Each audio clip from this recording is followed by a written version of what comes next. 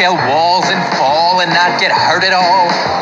We've done it in the past. Rats.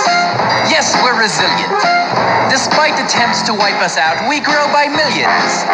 And although we only live one short year long, a productive rat and wife could host a family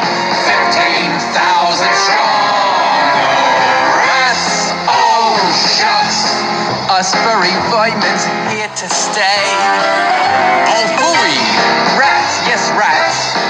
You know you're gonna need us anyway. Just think of all the breakthroughs science made